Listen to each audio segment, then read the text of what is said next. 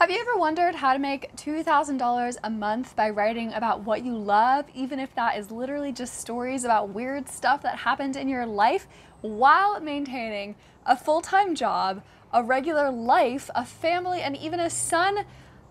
Wonder no further because today I am interviewing the incredible, incomparable, fantastic Holly Bradshaw. She is revealing all her secrets, how she grew on Medium while maintaining a full-time job, how she's actually grown her following and her income from three to nine hundred dollars a month, all the way up to two thousand dollars a month. What she writes about, how she finds inspiration, how she finds time to start. She's also doing a podcast. There's so much. And I took so many notes during this conversation, so I hope you get as much out of it as I did. All right, let's jump right in. Hello, everyone. Thank you for tuning into this uh, interview. I am so excited to be recording this interview with Holly Bradshaw, who it's so cool because you're in a very different position from most writers in that you started writing when you went when you went from freelance into a full-time job and i know that balancing like a writing hobby and passion with not just a full-time job but you also have like a family to look after and hang out with and spend time with and I would love to know, yeah, like how you got started on Medium, what, what, why you chose to do that right as you started going into your new job, and everything else. Let's let's just start. I was a freelance editor, and I think maybe a lot of freelance editors can relate. Like my dream was to be a writer, mm-hmm. and I was editing all these other writers and just looking at what they were doing, but it was paying the bills kind of. I'm different from you, which you do this so wonderfully. I just was really bad at managing my time on my own and being an employee with a business and like having to meet deadlines and work with a team that worked really well for me. Mm-hmm. So so after 4 years of freelancing I landed a job as a senior writer and project manager for this large corporate company. Okay. And it was really fulfilling and it gave me benefits and like things I had never dreamed of before.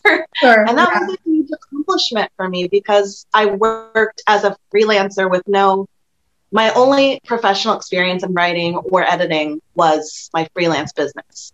Mm-hmm. So, to that end, I think if you're freelancing and you want to move to a, a, a job job, it's totally possible. And at the same time, if the corporate thing and, and the day to day is not for you, you can take what you learn at your job and go into freelance like you've done. Mm-hmm. Um, so the thing with writing for this this company, it's a lot of like medical research and, and fundraising for that and stuff like that. It does not allow me to write whatever I want. I have to write like very strictly to this voice, to these assignments. And and it's all very interesting, but it's not like my material. It's mm-hmm. not like what I want to creatively express. And that is where Medium came in. So, like, after I settled into my new job two years ago, it was over two years now. Mm-hmm. I just wanted to do something fun and creative for myself and also maybe find an opportunity to provide for my family better mm-hmm. because you know when you're starting a new job it it took care of me well enough but I have the massive student loan debt. I have the medical bills, like things everyone has. I have a child who needs all these things. Mm-hmm. So I was like, this sounds fun. I want to create stories using a pen name so I can write and be like as honest and, mm-hmm. and like gory details as I want and um, maybe provide more substantial income. So it was so, all like, it was all good yeah so i want to get into the the time management aspect because i think that's something that's going to be really relevant for a lot of writers but talk to me about those early days. So you're in this career you're finding it uh, yeah financially fulfilling for sure getting benefits is great love that. Um, but then you wanted to write something more creatively and you found medium. Um, how yeah how did you how did you pick the topics that you wanted to write about and how soon did you see success that's like that's a huge question um, because it was slow. Yeah, it was slow at first, and I I think the very first story I published it was for the writing cooperative. Hmm, yeah. Um, the first three I published was for that, and some I incorporated like one of them was about like grammar and like mistakes that will harm your erotica writings because I love to write fiction and I so I think like incorporating stuff that I was really into into like the writing aspect and the skill of writing worked well at first. Um, I say worked well. I think I made six dollars my first month. And, hey, that's you know, I know a lot of people. I think I made three dollars my first month, and those dollars felt okay. so good. My secret was writing a story about writers that I loved on Medium. That was my first story, and um, tagging them. And I, I don't know if that's a good like method. I think that I think that annoys a lot of people, but people read it and people appreciated that I was there to learn like what what writers are doing and, and what they're saying before I published. Mm-hmm. And I, I, recommend that too. Like look around, definitely read um, mm-hmm. and incorporate that. So, and then I thought, do I have to have like, like that niche? Like, do I mm-hmm. have to do writing and and and sex stuff? Um, I definitely started with that, and then I s- eventually just got brave enough, I think, to branch out and like let myself fail if I if I if it failed. Yeah. Um, but it was definitely a slow build. I was maybe doing like one story a week or one story every two weeks for mm-hmm. like a good like six or seven months. Right. Yeah. So was there like a breakout article at the end of those six or seven months, or was it just a slow build into finding your voice, finding your topics, finding your audience? It was it was a little bit of both. So I wrote something that broke did a little like not viral, but like breaking out more and and reaching more than any story before had. Mm-hmm. And it was um like a, a chat conversation I had with a male friend about oral sex. And he was like asking me questions. And I'm like, this is interesting. It was platonic, but we were like discussing like skills. And he was like, honestly, like, help me. And I'm like, let me try to like give you my opinions. And I wrote that story and that caught people's attention. It I was, just, it was kind of weird and different. Yeah. Yeah. Um, very weird and different. yeah, not, not in a bad way just in like definitely captures a lot of the audience of like what people want to read but aren't currently being served by yeah and and it's something like people don't necessarily want to talk about like right it's like private stuff mm-hmm. but i'm that's I, I i'm so interested in sex and like from a, a psychological standpoint as well like I would be like a couples sex therapist if I went to school for that. Yeah. It's something like it's a dream far off, but I just love like learning about it and writing about it and being a little bit different and and being willing to go places that maybe not everyone is comfortable talking about but but mm-hmm. should be talked about mm-hmm. um it, it, was kind of my running theme so that was yeah. like the first breakout and then i i tried to like build on that like oh this is what people like let me see what i can do with that Okay. Yeah. It's interesting because I find a lot of breakout articles for a lot of writers, eh, they're not they're not often viral ones, but they are ones that are like, oh, so I, I can get more than, you know, 100 views on a story. I can get a 1,000 or yeah. I can get 10,000. And even though 10,000 isn't like it's not breaking the internet. It still shows you a lot of the potential that you weren't reaching before. So, okay, for those of you who are watching this and you're thinking you want to start building a side hustle on Medium, like Holly here, um, and you're wondering like what the potential is. Holly, what have your best months on Medium been in terms of income?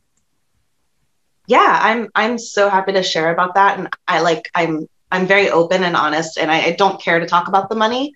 Um, I think it's it's helpful, and I think it's interesting. I love reading like what people earn and what they do, but my best month was recently last month, so that was it was March and we got it in April. That mm-hmm. was like 21 2100.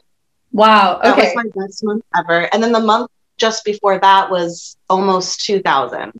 So I had That's like incredible. So like the ceiling is high. Time. Yeah. And hopefully you haven't even reached the ceiling. Like this is just steps on the journey.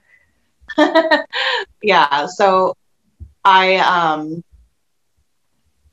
like I couldn't believe it and what ha- what helped was having articles that did kind of break out and go viral. Mm-hmm. Um, and and I, I think it took me those two. It took two years of like most of my months were three to five hundred. I mean, like, still, which a, was helpful. Yeah, especially because you were saying that you were only writing really like four, maybe four, somewhere between two to four stories a month, right? Well, so not exactly. Well, that was the beginning. Right. and then once like articles started to doing, uh, earning me a little bit more, that definitely motivated me. And I was like, when I'm more consistent than like once every two weeks, um, I'm more likely to just write a gem. So I, I honestly feel like I have to write maybe a few articles that don't do anything, and then I throw another idea out there, and it does stick. It like, finds audience. Yeah, yeah, I, throwing darts against the dartboard. Yeah, I know how addictive it can feel when you start earning that money. I guess for you it was different, but because um, you had already been a freelance writer, or sorry, a freelance editor. Um, but for me, like the first time I started writing um, and I started earning money from it, I was like, oh my god! So the more I do this, the more money I make. Let's just let's just yeah. do it. And I know that happens to a lot of beginner writers. So I want to talk about your experience specifically. You're starting to experience um, yeah, that like maybe writing more starts to earn more. How do you balance that with your day job and your sort of existing life? Um, like not well sometimes. Not very not I very well at all sometimes. Um yeah, to be honest. Uh one thing that was helpful and this kind of goes into where we can find other opportunities was that I I joined up with Newsbreak mm. when that was happening and mm. I was sort of like at the beginning of that and they required the contract required three stories a week. And we were also allowed to post articles we'd already published. Mm-hmm. so the plan was like i didn't have a huge backlog. I was like i'm going to write three stories a week. I'm going to publish it on medium first. Then i'm going to cross post it to newsbreak and fulfill that contract. And just having to do that routine three days a week for four months um, it was the most consistent I'd ever been as my side hustle. Mm-hmm. So like I'm at the day job, but then at least three times a week I have to publish a story in my side hustle. And it was kind of like um it was like side gig writing boot camp, you know. That's a great way to put it. Yeah, it forced me to have that routine. And then at the end of that four months, which it ended, you know, a couple months ago, I needed a break and I was like, now I'm like publishing maybe like four stories a month this month. Mm-hmm. Um, and I think that's totally acceptable and, and balance is great. Um, mm-hmm. So I will work and sometimes I will write for myself on my lunch break. Okay. Um, I will write for myself on the weekends, but maybe I'll only write on one of the weekend days because the other day I'm going to have fun and I'm going to spend time with my son mm-hmm. and um, maybe I'll stay up late, probably more than often than I should on a weeknight. So like it'll be Wednesday night. This past Wednesday night, I was up till 2 a.m. writing for Medium. Did not realize that I did that because I'm just I'm I'm not a great with routines, as we know. Um, so I'll stay up really late and just be sleep deprived the next day, or I'll I'll like take a nap during my lunch break the next day. Mm-hmm. Like I just shuffle things around to the to where I need them to be. Yeah. And I I'm not like yeah, I'm not the, I'm more of a variety person, not like a structured routine person. So and I just yeah, go ahead. yeah, no, no, for sure. So it sounds a little bit like like you're saying that it wasn't painless to fit in both your writing hobby um, and like your your life and your job. And I think a lot of people can relate with that. Uh, I know back when I was working full time, I was probably working close to 80 hours a week. Like I put I do my job, but no extra, and then every spare hour, every spare evening, squirreled away to my writing hobby. And I think like for you especially, it sounds like so much of what you write is for you. Like you're doing it because you want to, you know, explore your feelings, talk about something that happened to you, like a very personal essay style, I think. Um, and that sounds like maybe how you've been getting carried away, like writing into, into 2 a.m. in the morning. I can relate so hard because you're putting a lot of your personal self and energy into the stories. Would you, is that right? Definitely. Um, and like I said, it is both an outlet and also hard work.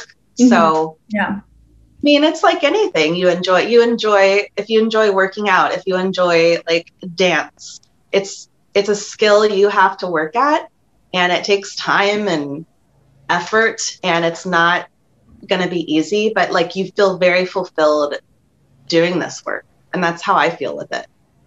So I 100% agree that it is good to have like on and off periods, whether by force or by choice. It sounds like for you it was by force, definitely uh, in recent months. Which, yeah, three articles a week plus a job, unreal. Um, but so, talk to me about what your schedule was like during those crazy Newsbreak months, and then what it was like, maybe like a given week of this month. Um, yeah, how did you spend your time between like your job, your regular life, and um, Medium slash the side hustle?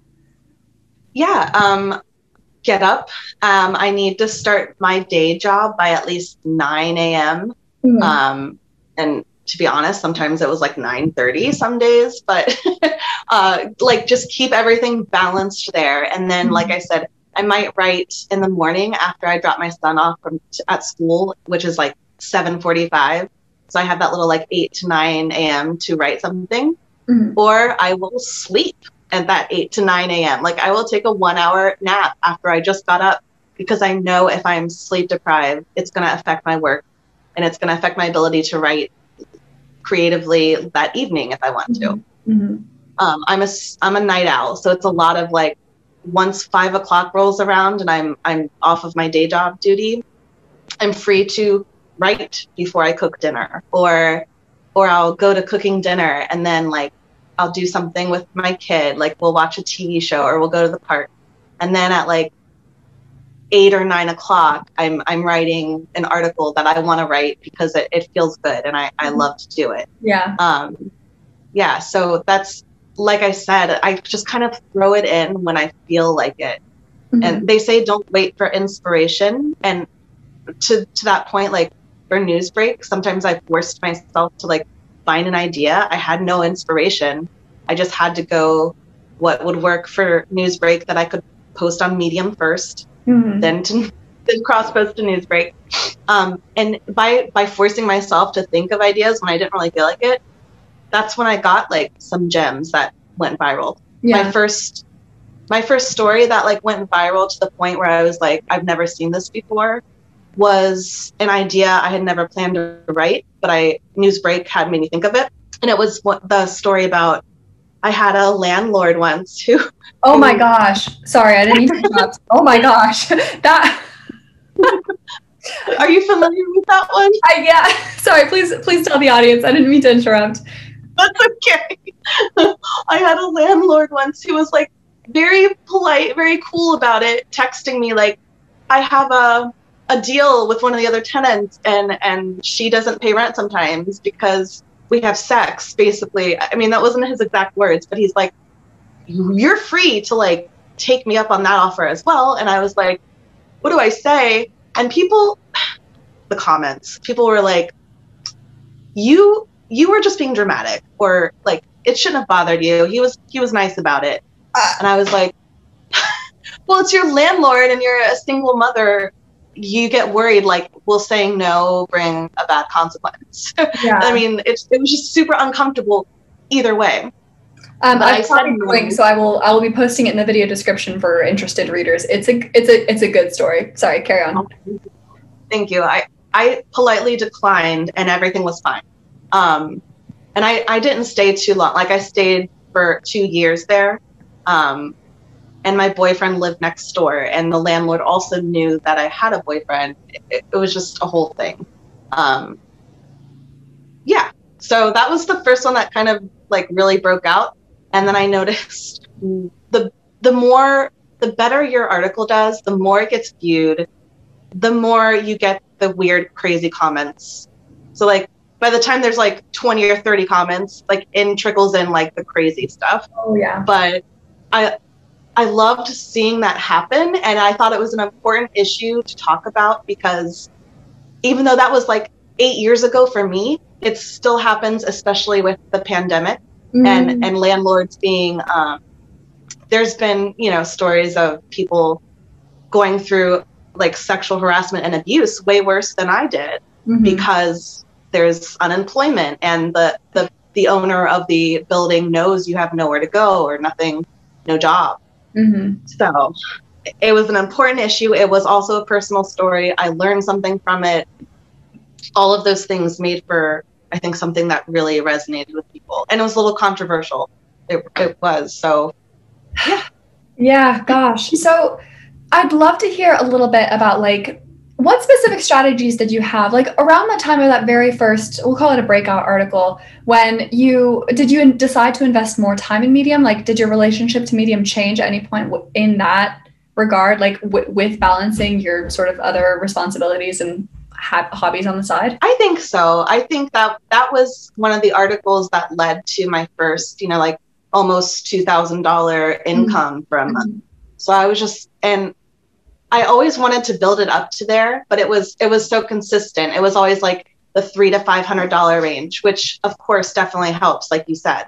But it wasn't where I wanted to be. I, I just yeah. Yeah. I just I aspire to I mean maybe at some point I won't have to work a day job. Yeah, I just I want to keep going in that direction. I want to keep building a career here at, on Medium, even if I keep my day job. Mm-hmm. Yeah. Yeah, no, that makes sense.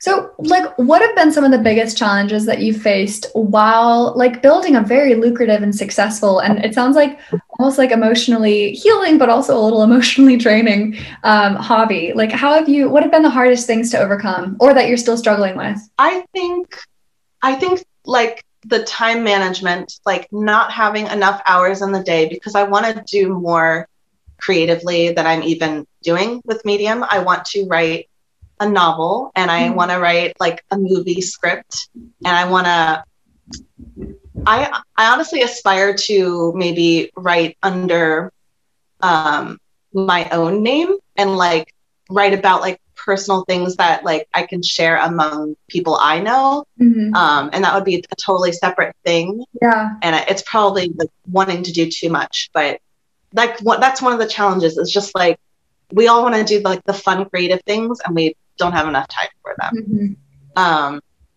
and another challenge for me which i i eventually overcame was getting into publications that have like the strict guidelines and the high quality stories mm-hmm. um, so I, I think there was a point where it was a little bit easier maybe to get into like the writing cooperative and then recently they've kind of like um i guess tweaked things to the point they like like consistency among all of their articles.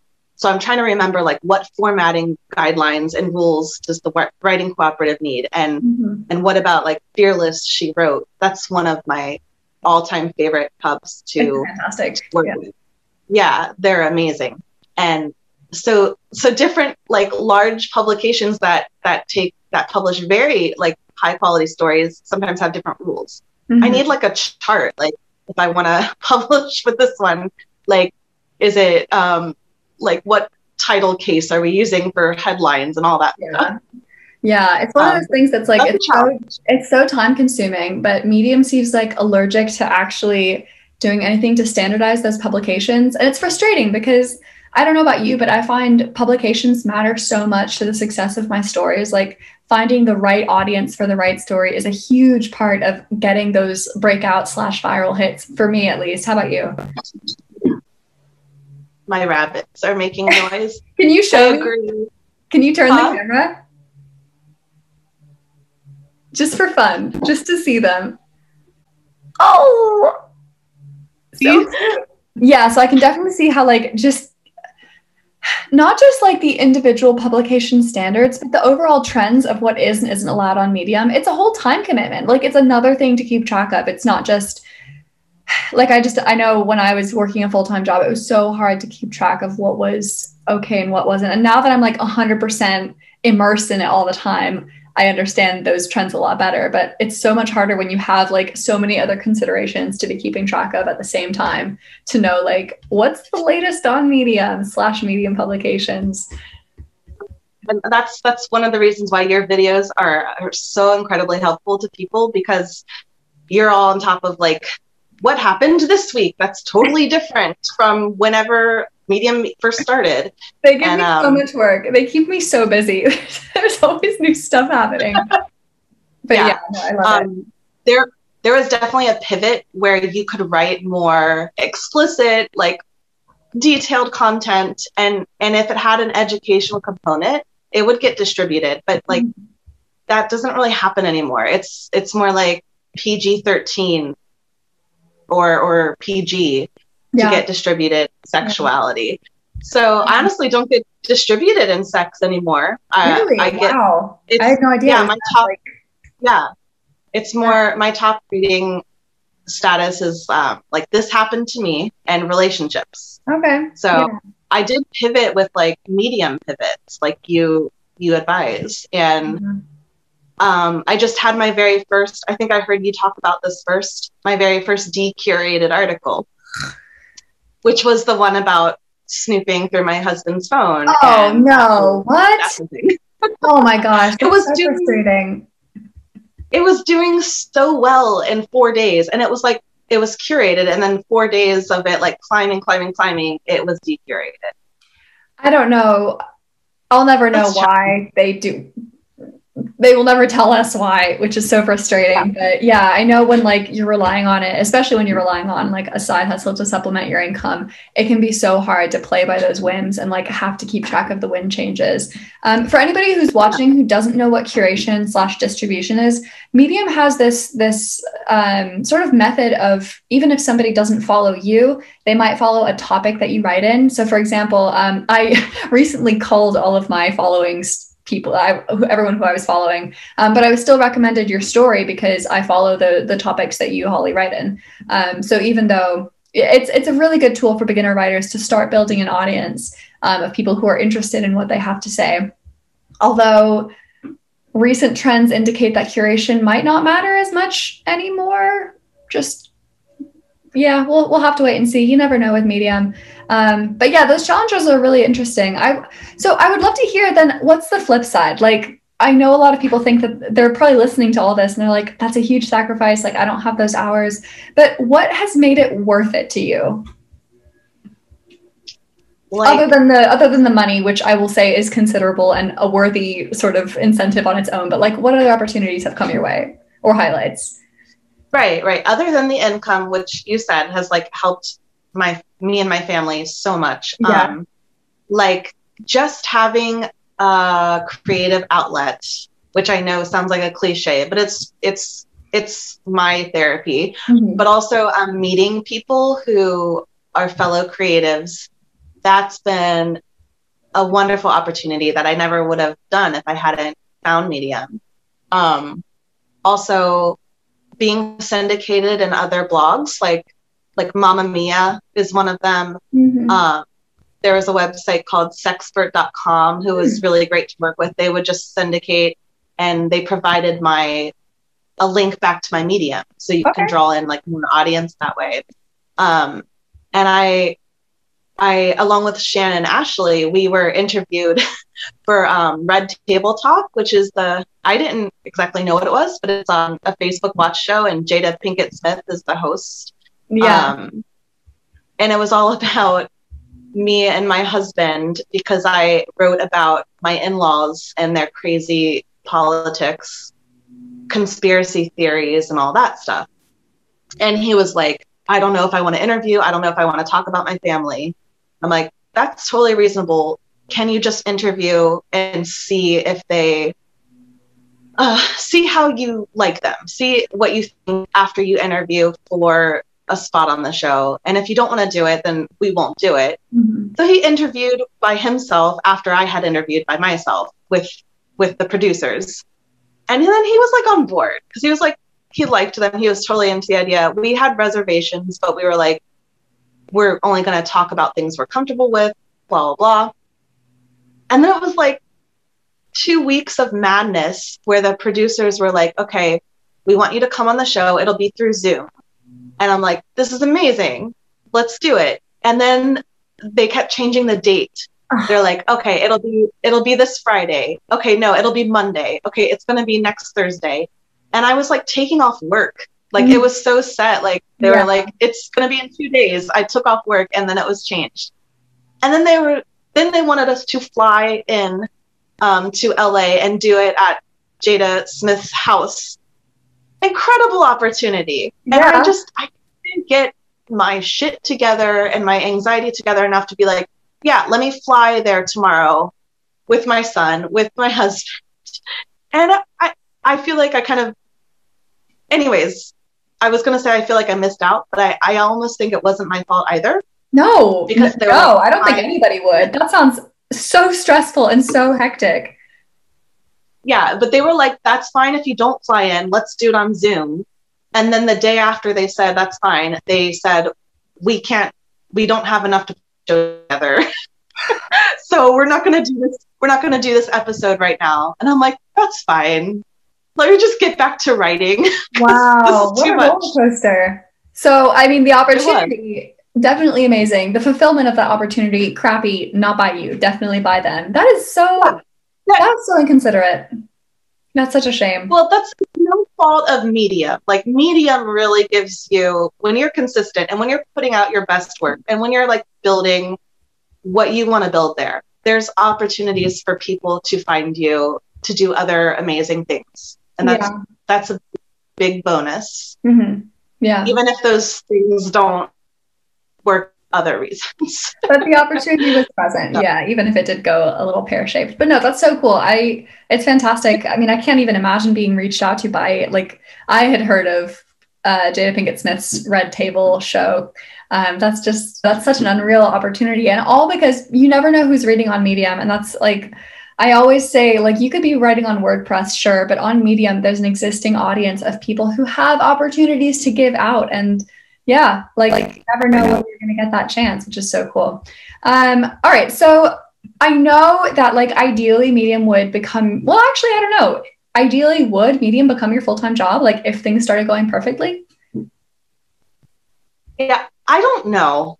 And that's because i know i'm scared of like uncertainty and change mm-hmm. um, when i've had i had so much of that freelancing that i i did not respond well to yeah and um with a steady day job, I'm not afraid of that. And I, I think it might be different if you don't have kids because you do like you're able to you know have that freedom um, to to work to change jobs if you want to or to quit your job if you want to. Not like not to say that if you have kids you can freely quit your job. If that's not it at all but I, I just want that stability for like health insurance you mm, know? Yeah. Yeah but, um, important. I would say like I, I would like to keep doing medium to see if it allows for other opportunities. For one thing, I would like to um, be a novelist and write fiction. And I think maybe it could help with publishing your book, um, mm-hmm. just like by getting yourself out there. Mm-hmm. So whether I work with a traditional publisher or or just independently publish um, fiction, I would promote on Medium. I would try to b- build an audience there for that kind of thing. Yeah. Yeah. I just I just like to have fun and and write really difficult issues. yeah. I mean, I would love to hear. Yeah, I, I, I understand. I think part of the reason I was able to make that change personally was because, yeah, I'm I have like a lot of privilege personally. I'm here living at home with my parents. I have no kids. I I don't have any debt. Like I, I took zero risks in going fully freelance, whereas I understand most people are not in that position. So it's it's considerations that you do have to take into account. Um, and I think healthcare is a very real one, um, especially during yeah. Pandemic. Yes, um, exactly. Yeah, like what are your plans for future future work on Medium? Then are you going to just sort of keep doing what you're doing? Which I mean, apparently it's working. Apart from your one decurated article, so rude. Um, but yeah, how do you plan to sort of progress on Medium? Um, sure. I, I do hope to keep doing what I'm doing, and I hope to keep progressively putting out better, better and better stories. Mm-hmm. Um, because I think that's really like the heart of the matter is that I enjoy writing, and I want to do it, and being more successful with it as far as like income and, and other opportunities and just like it just feels good to to write a story that other people talk about. Like they they'll that's why i i know we like are different. I do read comments because it's like a dialogue and and the important issues that i talk about i talk i write about them because i want to talk about them. Mm-hmm. and if people disagree with me i i don't mind going like why do you disagree? And here's why i disagree with you. Mm-hmm. like i'm very opinionated in that way and I, I enjoy that aspect of as much as it's it's funny that i write under a pen name and i don't share my stories with my friends but i am very like open and honest with my friends. I do talk about like whatever with my friends um, mm-hmm. except for my blogging career but um, yeah so i do want to keep doing what i'm doing i want to keep doing more if if I had like I don't know, if I had a very steady income that was doing better than my day job, I would consider leaving my day job to see like where else the wind takes me. You know, mm-hmm. I'm not there right now. So yeah, I'm just gonna keep creating and I very much am enjoying that. And like stuff like this, like interviewing on your channel, which I've been watching since day one basically. Wow. I feel like I feel like that was a huge opportunity. I'm a, I'm starstruck. well, thank you for thank you for doing this. I feel like I have so much to learn from from writers like you, like both in terms of just how to balance all the different priorities. Because for me like creation i it is my number one priority. And it's so interesting to hear about people who who for various reasons it can't be. There are other considerations to take into account. Um, so yeah thank you for for hopping on here. Um, i have more questions. That sounded like i was wrapping up but i'm not. I have more. Oh. um, so i do have just yeah just a few more questions then. So for people who are in your position who whether they you know are currently in a job or just started a new job and they're thinking about whether they have the bandwidth to take on a new side hustle specifically writing what advice would you give those people? Um i would say try to write consistently at, the same time forgive yourself if you don't have the bandwidth to write anything that day. Um, sometimes it's like writing an article a week. Like maybe you could set a small goal, write an article a week. Take three days to write that article. Like write it for a couple hours, like in the evening, write it on your lunch break. Like, I mean, work on it. Like, don't feel like you have to finish it in one session. Um, and, and honestly, you, you, someone with a kid, I mean, I, I'm privileged too, because I have one teenager who's very easy and wonderful. Um, a, a mother or a father with more than one kid, I don't know. I don't know how that works. that's that's incredible. Um, and because I know people do it, they work and they have multiple kids. There are enough hours in the day. As much as I work on my writing on the side, I have plenty of time for Netflix. Like way too much. I will I will lay there and just binge watch stuff. It feels good because I I need to like mentally rest. That's part yeah. of writing. That's part of your side hustle. You have to take breaks. So do your day job. Take an hour or two hours or however many you can stand to write to do your side hustle and give yourself like breaks. Yeah. Plenty of them. yeah, that's fantastic advice. Um, yeah, taking, I think taking breaks is probably the one that I think is the I mean all of it is fantastic, but that's what I would really hone in on for for struggling to balance writers um, because it's so many people think that like there's a gold rush on medium or whatever other platform and that if they don't maximize on it right now right today this week if they don't get into that publication if they don't write that viral story that it's gone forever. But like every day and every year, people were saying that in 2018 when I joined. And I mean, since then, there have been so many writers who joined and were working on it like on the side, just like you, and actually surpassed, you know, me, which is like, I love to see that. I love to see people who have been starting later and doing better because I think that just proves the potential is still there. And you can, you have the allowance. You can take breaks when you need to. You don't have to be a content machine. Like, I think that's so cool. Yeah.